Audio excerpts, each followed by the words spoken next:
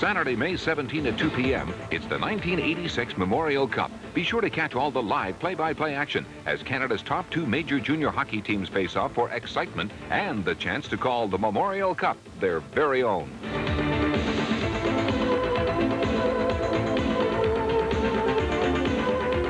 The Memorial Cup. We've got the live action covered Saturday, May 17 at 2 p.m. right here on CFTO TV.